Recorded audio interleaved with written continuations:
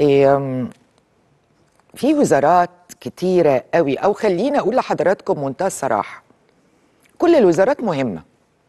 إيه التموين كهرباء إيه حكم محلي معرفش كله كله مهم. بس أنا في يعني مع الوقت كده هقول لحضراتكم مع الأيام عشان ال ال وقت البرنامج حاجات لوزراء بعينها. النهارده هكلم وهخاطب العقل صاحب العقل. وزير الثقافة الجديد. ربنا يوفقك. آم، مهمتك صعبة جدا. وبقدر أهميتها بقدر صبع- صعوبيتها لأنها صعبة. أنا بشوف إن وزارتك وزارة الثقافة هي في الصدارة. لأنه مهمتك أنت بتتعامل مع عناصر القوى الناعمة المصرية أنت معاك الرواية ومعاك الفن التشكيلي ومعاك الأوبرا والسينما والمسرح وسور الثقافة معاك كل الأدوات اللي بتعمل لي حالة التكوين بتعمل لي حالة الوجدان المصري. وعلى فكرة بكل أنواع الشرائح شرائح المجتمع. فأنت مسؤول سيادة الوزير عن التكوين من بداية الطفولة من وهو طفل.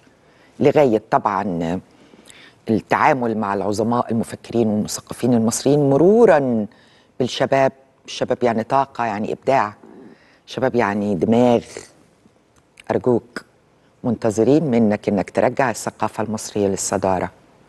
محتاجين منك مسرح يملى مصر. سينما في كل حتة ومحافظة فيك يا مصر. منتظرين منك مجهود كبير للوصول لحل يرضي المنتجين. يرضي الإنتاج السينمائي. وهنا بتكلم على المنتجين سواء المصريين أو الأجانب. أرجوك حل أزمة التسهيلات الخاصة بتصوير الأفلام السينمائية والدرامية المصرية والعالمية دخل لمصر كاميرات كتير تصور وفر المناخ الملائم سهل طريقة الحصول على التصاريح للتصوير. شباك واحد. حاول تعمل شباك واحد المنتج يتعامل معاه. يتعامل مع المنتج المصري ويتعامل مع المنتج الأجنبي. سهل عليهم الدنيا في الموافقات وبلاش نبقى يعني إيه نطالب بمبالغ قوية لأنه ده هيشجع الصناعة وده هيشجع التسويق.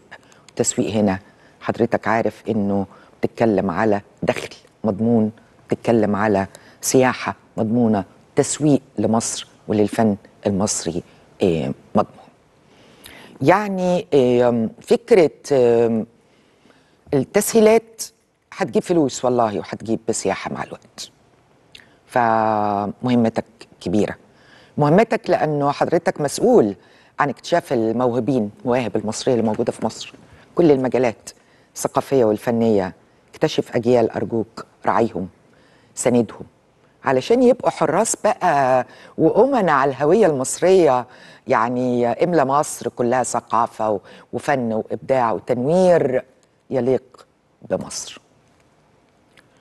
في نفس السياق كده وأنا بتكلم على السينما عايز أقول حاجة بخصوص وأنا بتكلم على الثقافة عايز أقول حاجة عن السينما بعد إذن حضرتك. أخبار كتير عن أفلام سينمائية تم عرضها. حققت أرباح إيرادات كتيرة الفترة اللي فاتت. كويس. شيء عظيم. بتابع كمان إنه في أفلام سينمائية هتعرض قريبا كويس. وفي أفلام بتجهز للتصوير وهيتم عرضها. ده برضو شيء كويس وحاجة كويسة جدا. إنه يبقى في حالة سينمائية كده عظيمة متنوعة بتكلم في أكشن كوميدي دراما مهمة.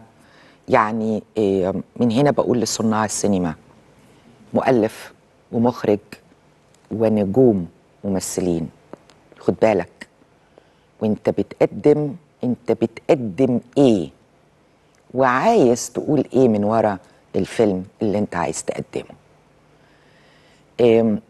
خد بالك كمان انه زي ما الضرايب هتحاسبك على اعلى الايرادات التاريخ هيحاسبك على المحتوى اللي انت هتقدمه.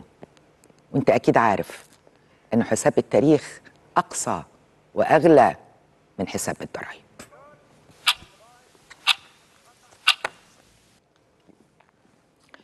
آه، وزارة الأوقاف آه، بتشتغل على إعمار بيوت الله ودي من ضمن أولويات وزارة الأوقاف. دكتور أسامة الأزهري ليك عندي كلام كتير يعني الأيام اللي جاية هقوله لك وخلي عندك ساعة صدر معايا كده. النهاردة تم الإعلان عن أنه هيتم افتتاح 10 مساجد. يوم الجمعة اللي جاية آه، منهم ست مساجد إحلال وتجديد وأربع مساجد صيانة وتطوير وبكده يبقى هيوصل عدد المساجد اللي تم افتتاحها. آم، الشهر ده أعتقد كده وصلنا ل 26 مسجد تقريبا.